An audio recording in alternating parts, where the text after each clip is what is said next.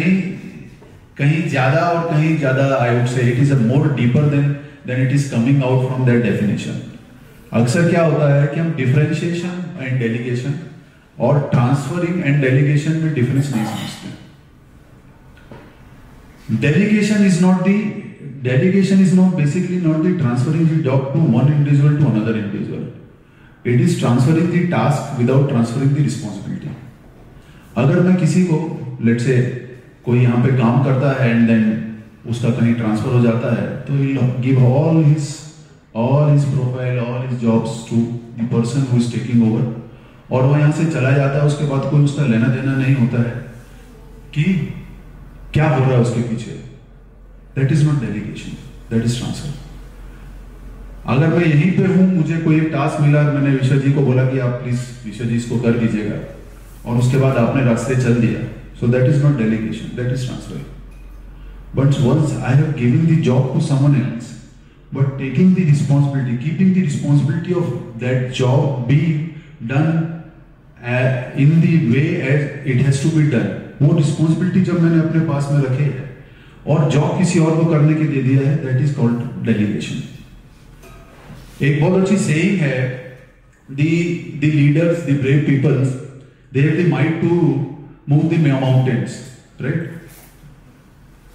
but what if the number of mountains are more than one then they need other people's might also. This is where the delegation comes into the place. Like if you are if you are a shift in charge and if you are starting, boss तेरी गाड़ी का number जीजे something है क्या तेरी light जल रही है हाँ मैं आते आते देखा था एक I forward so let's say if you are starting if you are starting with with a shift in charge supervisor role then what job you are you be expected to perform basically वो आपके हाथ में होते हैं with all your might, all your physical, I would say, capa- capability and mental capability, you are you are more or less able to complete that job in a in a stipulated time. But once you are having you have started leading a team, चलो ज़्यादा आसान है इस बात but once once हम एक team start करते हैं टीम को लीड करना स्टार्ट करते हैं then the role of the delegation is is becoming much more important because now you have to you have to work less and you to delegate more and this is the art this is this is I would say this is the art which each of the manager each of the leader has to learn has to absorb and then use it in day in day out professional and personal activities to to succeed जब हमारे पास में जब हमारे पास में एक team आती है let us say we start with supervisory level we are having a people two or three people to work for us and to complete the complete the desired job hello और उस stage से when we are we are moving into a, into an in charge position, जहाँ पे मेरे को 100 200 लोगों को संभालना है। Maybe thousand task per day I have to perform with the help of my team and if you are not having the delegation skills then it will be very difficult for me to to even complete 50% of those tasks. Right? और इस समय पे जो delegation skills होती हैं, जो leader की I would say identification of the people calibre and skills, वो सारा काम आता है, क्योंकि दो या तीन ग्राउंड रूल हैं किसी भी काम को डेलीगेट करने के पहला delegate the right job to the right people second you have to have a very good review system to understand what support he needs to perform that particular task and तीसरा you have to make sure that that person is going to complete the job in this time frame अगर ये तीन ground rule आप नहीं वो करते हो then your task will not be perform एक छोटा सा एग्जांपल आपको दूँगा मैं। एक बहुत अच्छा carpenter there was a one he was the most renowned, he was the most experienced carpenter in that particular city. और उसी के साथ में उसी समय एक उभरता हुआ दूसरा कारपेंटर आया। उनको वहाँ के राजा ने एक रोल दिया कि मुझे एक ऐसा रथ तैयार करके दो आप, जो किसी ने नहीं देखा। आज तक किसी ने भी नहीं देखा। और जो ऐसा तैयार करके देगा रथ को, मैं उनको उसको इतना, इतनी मुद्रा इतनी असरफियाँ, इतना इनाम, इतना वो दूँगा अगर वो किसी ने भी नहीं देखा। तो सभी जितने भी उस उस शहर के जितने भी मिस्त्री थे, जितने भी कारपेंटर्स थे, उन्होंने सोचा इसको तो मैं तैयार करके देने वाला हूँ। ये तो this is life changing event है। एक बार में मेरी ज़िंदगी चेंज हो जाएगी और ये सब जो आज छोटे छोटे काम के लिए हम लोग इधर उधर भटकते हैं, ये सब खत्म हो जाएगा। तो everybody was very much charge कि हाँ भाई, ये एक रथ बनाना राजा के लिए जो किसी ने भी नहीं देखा। तो जो सबसे ज़्यादा सबसे ज़्यादा मेहनती, सबसे ज़्यादा, वहाँ का रिनाउंड कारपेंटर था, उसने काम स्टार्ट कर दिया। एक महीने का टाइमलाइन था, उसने बोला, मैं तो बहुत एक्सपीरियंस है मेरे पास में, मैं इसको फटाफट बना के दूँगा। इसको तो मैं ही राजा को प्रेजेंट करूँगा और मैं ही इनाम लेके जाऊँगा। जो उसका जूनियर था, जो छोटा था, जो बाद में आया, उसने काम स्टार्ट नहीं किया, वो निकल गया। उसने बोला, कहाँ जा रहा हूँ? बोला कि मैं जा रहा हूँ, जरा सोचता हूँ करना कैसे है। फिर काम चालू करूँगा। तो जो सीनियर था, वो सोचा कि हाँ भाई, ठीक है, नए लोग हैं, अपना तरीका है इनका। अपने आप को थोड़ा सा अलग समझते हैं। मैं तो इसको पंद्रह दिन, बीस दिन में तैयार करके और राजा के सामने जाने वाला जो दूसरा बंदा था, वो बाहर निकला। उसने और बहुत सारे कारपेंटर्स को अपने साथ में लिया। किसी से बोला, आप, आपकी मास्टरी पहिया बनाने में, आप मुझे दस दिन में दो पहिए बना के दे दीजिए। आपकी मास्टरी प्लेटफॉर्म बनाने में, आप मुझे प्लेटफॉर्म बना के दे दीजिए। तुम्हारी मास्टरी अच्छे, अस्तबल अच्छे घोड़ों की रखवाली में है। मुझे दो बढ़िया घोड़े दौड़ने वाले ला और सबसे आखिरी में पंद्रह दिन बाद वो आया और उसने आके जो बचा हुआ काम था, अपना काम स्टार्ट किया। जब एक महीना हुआ तो जो सबसे बढ़िया, सबसे अच्छा सबसे रिनाउंड कारपेंटर था, वो कारपेंटर आधा रथ भी तैयार नहीं कर पाया। क्योंकि जो उसके दिमाग में था, उसको जब तक वो धरातल पे लाता, तब तक समय खत्म हो और जो नया बंदा था, नया बंदा जो है, उसका रथ तैयार, राजा के सामने प्रस्तुत, और उसको राजा ने जो भी अशर्फियाँ इनाम देना चाहता है सब दे तो जब ये जो बड़ा कारपेंटर था, नामी मिस्त्री था, राजमिस्त्री था, जब वो वहाँ पे गया, उसने छोटे वाले से पूछा कि, बॉस तूने ऐसा कैसे किया? मैंने अपनी सारी ताकत, अपना सारा एक्सपीरियंस झोंक दिया। मेरे से अच्छा कोई राजमिस्त्री आज भी नहीं है इस दुनिया, इस राज्य में। लेकिन मेरा रथ जो है नहीं बन सका। तूने ऐसा क्या किया कि जो तू इसको पंद्रह बीस दिन में तैयार करके इनाम ले गया? तो उसका उसका एक ही जवाब था कि मैंने सब कुछ, मैंने सब कुछ खुद करने की कोशिश नहीं की। मैंने सब कुछ खुद करने की कोशिश नहीं की। उसकी जगह अपना सब कुछ, अपना सब कुछ, अपनी सारी सोच जो है मैंने दूसरों में बराबर बराबर बांट दी। और आखिर में जब मैंने उसको एकत्रित किया, आखिर में जब मैंने उसको कलेक्ट किया सो ये रथ सामने तैयार करा so this is something this is something which is very much I would say this story is related to the core of the delegation कि अगर आप सब कुछ करने जाओगे तो आप सुपरवाइजर लेवल पे इनिशियल लेवल पे you will be very successful but once you are going into the I would say once you you start climbing the ladder of hierarchy कुछ समय के बाद में you will not be the top performer you might you might sit in the in the in between level between the bottom and the top थोड़ा और ऊपर अब जब जाएँगे आप and if you want to do all the things from your your own hands from your own I would say brain then you will find कि you are at the at the bottom most of the performance क्योंकि again अगर आप सारा काम खुद करते हैं so then you have to have 10 hands 10 brains you have to have n number of n number of uh, things which which is humanly लेकिन delegation करना why why delegation is being said as an art क्योंकि delegation करना is it is not it is it is an art because there are some very very specific rules of delegation there is a very specific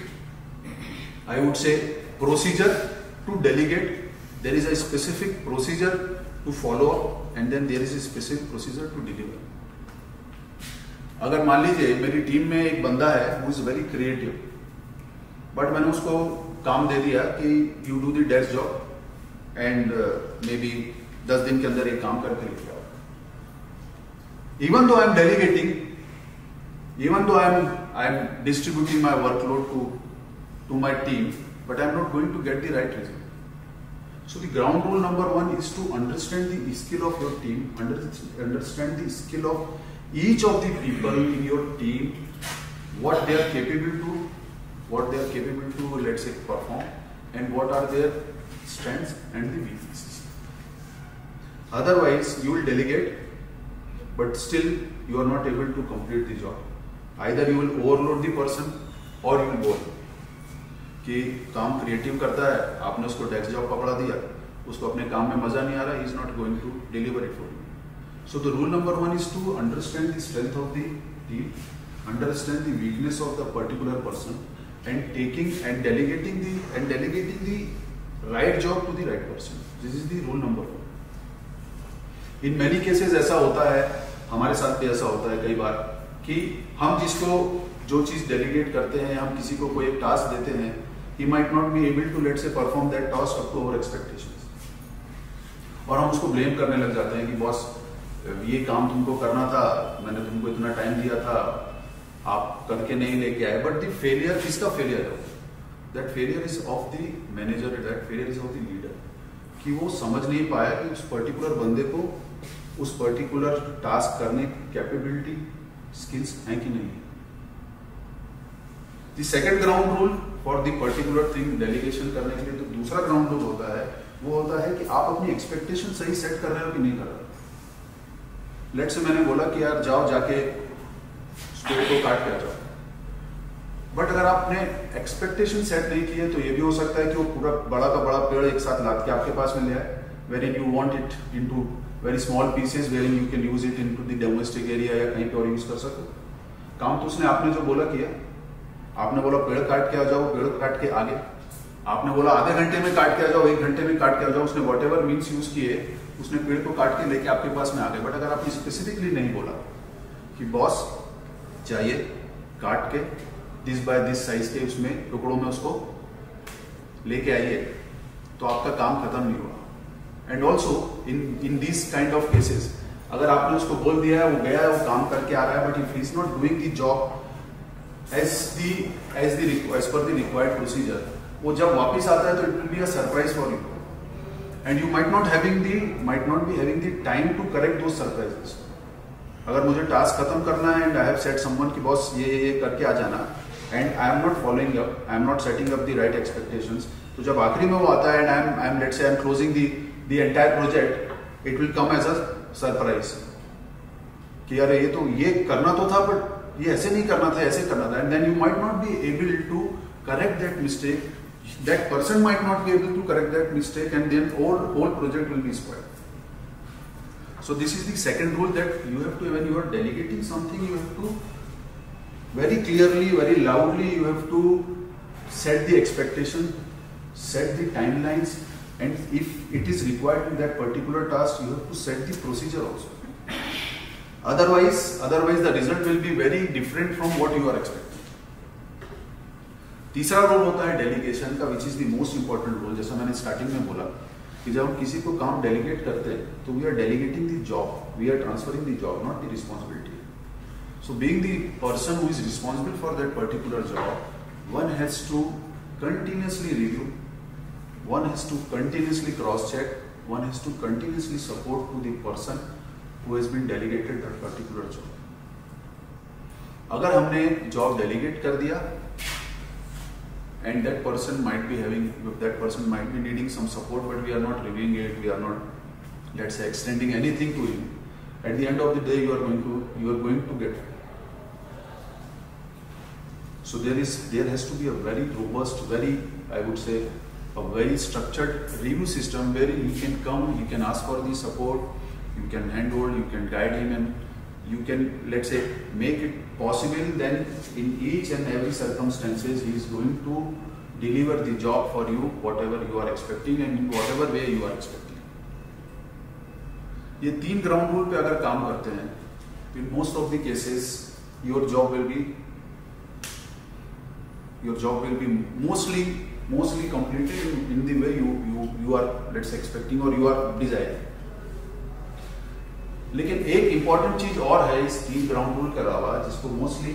हम overlook कर लेते हैं, कर जाते हैं। In many of the cases in find कि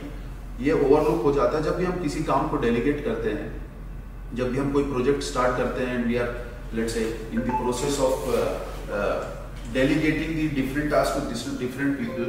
हम जो ओवरलुक कर जाते हैं, जो हमको शुरुआत में ही देखना चाहिए that whether we are overburdening some someone, whether we are overloading someone, or whether we are distributing the job equally. Because मैं as a as a manager there there if you are having a team as a manager you might be having a little I would say a less motivated little uh, I would say uh, थोड़ा सा कम bright candidate भी होता है आपकी team में you might be having a very very enthu very uh, motivated kind of person in your team also and we tends to as a manager we tends to overburden that motivated person and we tends to give the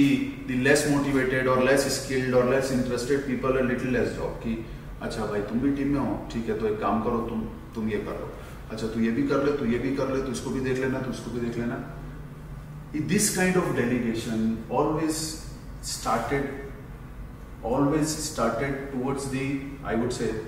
it will it will be starting on a very very negative a very uh, in a very bad note क्योंकि आपने शुरुआत से अपने expectation set कर दिए हैं कि भाई मुझे तुमसे ज़्यादा कुछ चाहिए नहीं। तुम थोड़ा सा काम करो तो मैं उसको बहुत I will be very happier person और मुझे तुमसे इवन इफ़ तुम मोटिवेटेड हो तुम स्किल्ड हो तुम एंथू हो तो इसलिए मैं तुम्हारे को the volume of work I am going to give you is more and the volume work of work I am going to, this person is less. And that will start, that will start the downfall of that particular project, that particular task. क्योंकि आपने already एक अच्छा एक innovative काम करने वाले आदमी को डिमोटिवेट कर दिया at the very beginning of the delegation so delegation should be very fair अगर किसी बंदे के पास में मोटिवेशन कम है या स्किल कम है तो उसका जॉब ऑफ़ वॉल्यूम कम नहीं करना है। उसकी स्किल बढ़ाना है। उसके मोटिवेशन लेवल को कैसे मैं ऊपर लेके आऊँ वो देखना है। And it has to be delegated in a very very equal way rather than जो कि अच्छे ऑलरेडी पहले से अच्छे, उनको हम ज़्यादा काम दे दें। So this is another rule wherein बहुत सारे केसेस में manager overlooked that might be the reason of the let's say उस कारण से हमारे प्रोजेक्ट्स फेल हो जाते हैं। एक और एक और मेजर चीज़ होती है डेलीगेशन करने में। एक, अगर हम अगर हम, जब भी हम ग्रो करते हैं and we tends to tends to have a very diversified team हमारे पास में रहती है। और उस समय जब हमारे को प्रोजेक्ट्स मिलते हैं we have to let's say start delegating the things क्योंकि आप शुरुआत में अगर बात करते हैं तो जनरली हम सारा काम अपने आप से करना चाहते हैं। But once we started moving हमको it is a it is I would say it is a necessary to delegate तो पाँच जब जब इस तरीके की कंडीशंस आना चालू होती हैं, और जैसे मैंने तीन चार ग्राउंड रूल्स बताए, उस ग्राउंड रूल को हम जब यूज़ करना स्टार्ट करते हैं तो एक डिलीमा हमेशा हमारे सामने आता है कि what should I cap for me and what should be delegate right if I am having let's say as a manager I 15 jobs in my hand and I am having a team of let's say 10 15 people क्या मैं सारे के सारे job delegate कर ये इसको दे दिया, ये इसको दे दिया, ये इसको दे दिया और सिर्फ़ बैठ के रिव्यू करता रहूँ। और या फिर या फिर कोई दूसरा तरीका है where in these fifty fifty और sixty whatever task I am having for that particular thing for that particular I would say dilemma it is very necessary for all the managers to prioritize the things. आपको अगर, if you are having 50 tasks in your hand then you have to be you have to have a very good clarity on the priority. और priority set अगर करना है तो this priority could be set on the let's say the क्या cost आने वाली है या क्या वॉल्यूम आने वाला है या क्या सेफ्टी आने वाली whatever whatever objective you are having in your mind and the most I would say the jobs which are having most most or the the, the highest priority those should be those should be kept with the with the manager वो drive करना आपकी responsibility है, दो reason से because it is having a sensitivity on your objective and secondly being a manager you have to demonstrate that you are the one who is taking the the I would say most difficult the most important jobs as a leader and then only you are going to deliver it is not that I am I am taking some very small or I am I am looking after into a very small uh, or a very tiny projects and the, all the big ticket projects I have delegated. Then I am not the leader and or, or I am not a manager. I am not I am not let's say motivating anybody so priority करना highest priority जो भी होता है उसको drive करना that is the job of the leader and then then the second priorities should be delegated to your subordinates in a very I would say जैसा हमने बोला ग्राउंड रूल के साथ वेरी स्ट्रक्चर्ड मैनर में delegate कर delegate करना चाहिए। From that i think there are there are many other many other uh, दूसरी बहुत सारी चीज़ें हो सकती हैं जो आपको सरप्राइज़ ला सकती हैं आपको। आप उस तरीके से व्हाट आई से उस तरीके से आपके सामने आ सकती हैं, जिस तरीके से आपने डेलीगेट नहीं किया like there will be conflict of interest between two parties like कोई एक ओजन, कोई एक अच्छा काम कर रहा है, कोई दूसरा अच्छा काम नहीं कर रहा है। And